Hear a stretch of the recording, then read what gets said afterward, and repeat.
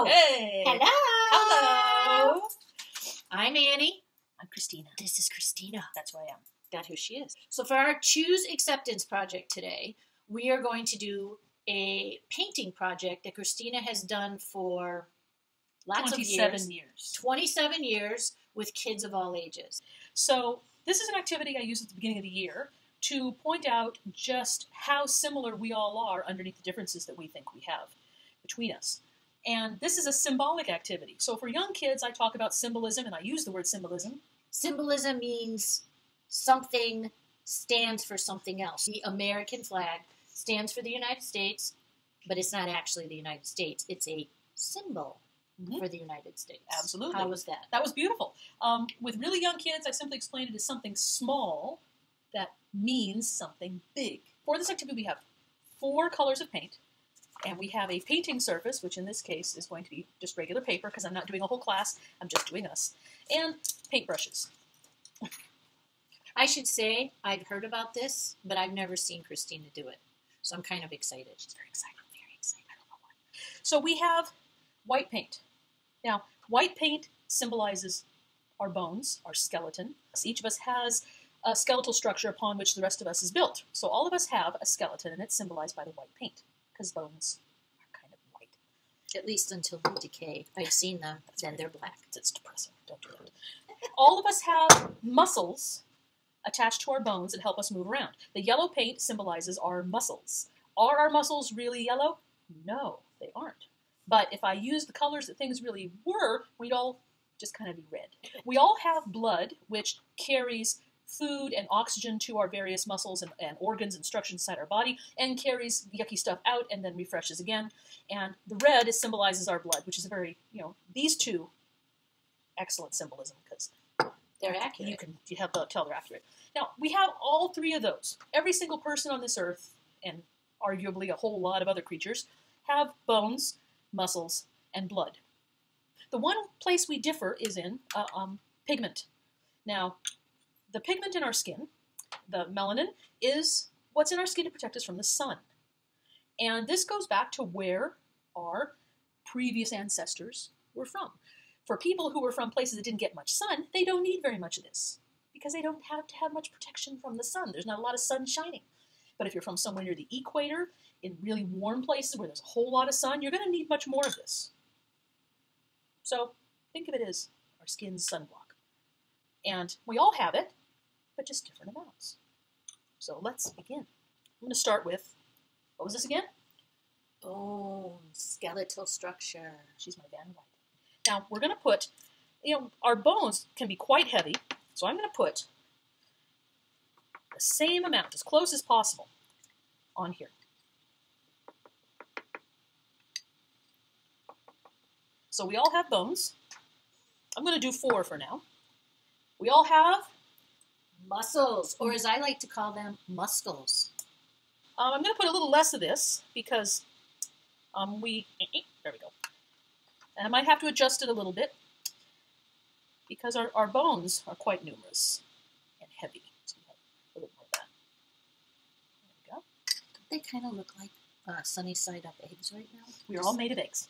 We're all made of eggs. Ooh. Ooh, some of us do Mm. have eggs. Well, we're not going to go there. But we're not going to go there. Different, different video. Okay, we all have blood, and I'm going to add some of that. So, so far we all have kind of the same stuff. Now we mix these up. And they should all come out, you know, pretty much the same kind of Thousand Island dressing peachy color. One of the things for any new teachers out there who might be doing this, new camp counselors, anybody who's doing this, I really strongly encourage do it the night before or the couple days before. Write down a few notes on a note card or the back of a cereal box or whatever you've got handy. Preparation is the key in making things like this work. What we all have are the bones, the muscles, and the blood. We all share that. And as I said before, the only thing that differs us in terms of what we're made of is pigment. Now, I do this lesson to point out that um, not only that we share so many things that are the same, I also point out to show that um, every shade we make is, is beautiful, and I go on to do a project that extends up through what would be open house, where now the kids use the color that best matches them, and it's not going to be perfect. And I talk about this. I could make a, a thousand different shades, and it might not be exactly, exactly because this is paint and you are cells, and um, it's really hard to make the two exactly the same. Do the one that matches best, and then they're going to paint their from here up and an outline of a head and a neck and shoulders, and then we add with different art projects hair made of different things and cut out magazine facial, facial features or they make facial features each one is different by the end of it what they have is a life size portion of portion i can't talk portion of them and i stick it to their chair at their desk and when the parents come in for open house there they all are sitting That's really cool because I didn't know she did all that. i do all that I want her to do one of me. i could do one of you Do one of me. Oh, I can't do it right now Oh. because I haven't added the pigment yet. I haven't added the... As you move down towards equator, um, they're going to need a little more because there's more sun, or the sun is shining longer, and then you're going to go even kind of like middle of the United States, on right through South America. South America. When you get to the equatorial regions, they're going to have a lot more of this for the one and only reason that their families come from places that have a lot of sunshine. They need a lot more sun protection. So I'm going to mix this now. Now, this is the one for the countries that don't have a lot of sun. And you notice it basically just disappears. Not a whole lot has changed in here. Okay, so that's a little darker. Now, this one is going to get a little darker. Remember, these tend to dry a little lighter too. So I could just get all into doing this circles and circles and circles. And I would say don't be afraid to add more colors once you're done really reinforcing the symbolism here and the lesson involved. Um, if if a child really seems upset that their you know their skin color is really not fully represented, don't be afraid to make another one or add to it. The point is to realize that we're all made out of the same building blocks. And the things that make us different, like skin color, um, are something we need to be aware of. It does point to our ancestry, but really we're made out of the same stuff.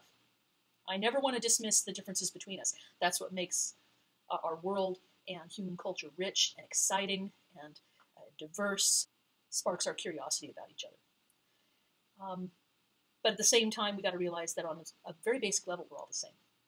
We're working on um, inspiring others to choose acceptance. And at one end is the ability to accept the differences in others without feeling the need to agree with them or even sometimes really understand everything about them, but just accept them as people who are worthy of your respect, worthy of attention. And at the other end, at the opposite end, where an awful lot of us sometimes fall short, and the place where a lot of us begin is at the fear end. And when we approach things with fear, something like this is a big problem because we're afraid of it. And this exercise shows you that it's not a problem. It's the difference of one chemical in our bodies. Just one. Just one. Perfection is not a word that Christina and I believe in in terms of choosing acceptance, but it's a goal. And the more you do it, the easier it gets. Wouldn't you agree? I would agree. We encourage you to choose acceptance for yourself so that you can reinforce and guide young people and everyone in your lives to choose acceptance. Well said. Thank you. If you have any questions, we'd love to hear them in the comments below. If you have ideas for other activities that we could do to help others choose acceptance, we would love to hear about those as well in the comments below. And there's else there's very know? few things I'm not willing to do and throw on YouTube. She means that. She'll do anything. And we will be doing more activities like this for different age groups and also for all ages because we all need to learn and practice choosing acceptance. But not until I wash the paint off. I still accept you on that one. You're welcome.